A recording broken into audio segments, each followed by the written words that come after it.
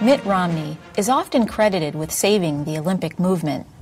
It was only five months after 9 11, and the nation was in a state of mourning. The 2002 Winter Games had taken on great significance. Today, the Salt Lake Games are remembered as one of the most successful Olympics ever.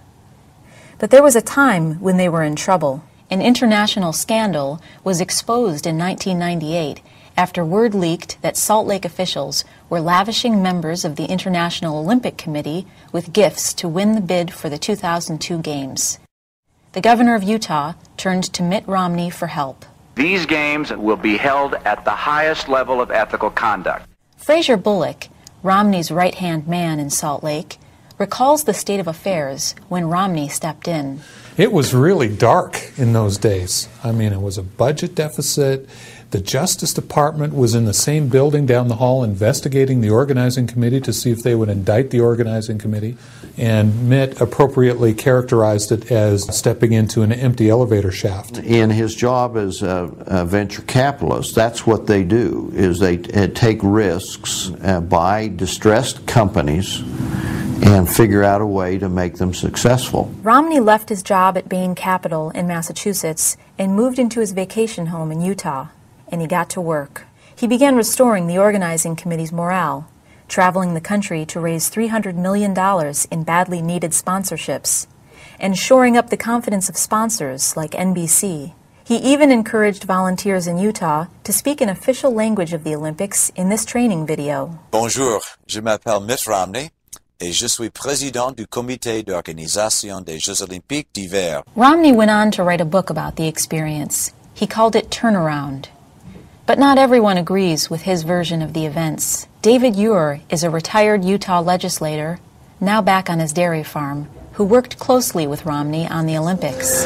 For the person who stood back, the average citizen in the state of Utah, that the only thing they knew were, was the, the 10 or 12 days of the Olympics themselves, yeah, Mitt's probably a hero because they don't know the inside story. Ken Bullock served on the organizing committee and considered himself a watchdog over the state's investment in the Olympics. He often clashed with Romney and remains one of his leading critics, particularly of his book. Turnaround of what? I mean, those are nice cliches when you're running for something that you get to claim victory for, but I mean, our mountains were here. The reasons why we hosted, we were awarded the bid to host the games were here before he came, they're here after the games. The real credit goes to the community of Salt Lake City, Salt Lake County, and the state of Utah. However, there's one point on which everyone seems to agree. Romney truly shined in his public role during the Olympics. He was a prince of public relations, doing stunts for the press corps, releasing a series of Romney fan pins, and orchestrating the high drama of the opening and closing ceremonies. Mitt is very flashy. He is extremely capable on his feet. He was trying to get a positive image for the games, and that was positive. I, you know, the fact that he would inject himself into it, I think that's part of the casualties of certain personalities, where they want to be more of the the show than the event itself. You have to be a showman. He was brought in to be a showman. So a lot of the chairmen and or CEOs of the past have turned into uh, very high profile national and world leaders. That was not lost on Mitt Romney. Behind the scenes, Romney was known for his effective leadership, but some recall that he could be less than gracious, for better or for worse. Mitt could be mean. He could be bloody mean, excuse the term. With Mitt, you have to be prepared. You cannot wing it. You have to have the data because he will challenge you, appropriately so.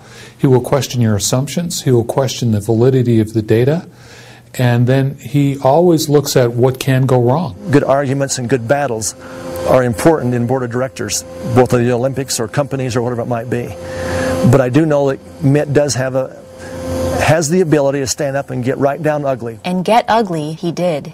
People still talk about the day when Romney was headed to a men's downhill event on a heavily congested mountain road. The roads are small in a mountain hamlet, and yet there were hundreds and thousands of cars uh, heading there. I'm responsible. I'm guilty because, you know, that operation was my responsibility. And it was snowing very, very badly. And so I'm in the stadium. Mitt calls me and said, There's a traffic jam here. uh, the buses aren't moving. One of the traffic controllers, Mitt didn't think was really doing his job. And so Mitt bails out of the car. and said to a, a political police officer with authority, move over. You you know, obviously you're not uh, doing this right, and I'm going to take over here. Now, just what kind of moral authority he had to do that, I, I'm not sure. I don't believe it's appropriate. Mitt might have said something inappropriate, but he didn't say what was claimed to have been said. Now, I I never heard Mitt swear. Now, maybe maybe other people did. I didn't. Does it, uh, is he capable of doing it? He wears pants, doesn't he? This community is a little sensitive to swear words. I don't know that you can go up to an, o- a police officer and, and kindly say, move over.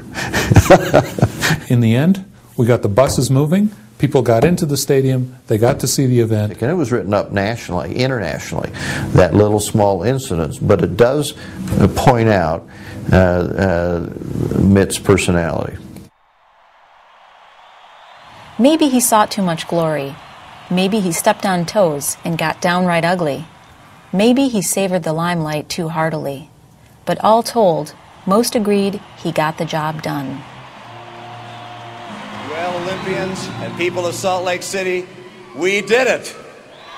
The Olympics more or less went off without a hitch, ending with a $100 million surplus and catapulting Romney into a national celebrity. He returned home to Massachusetts triumphant and immediately launched what would become his first successful political campaign.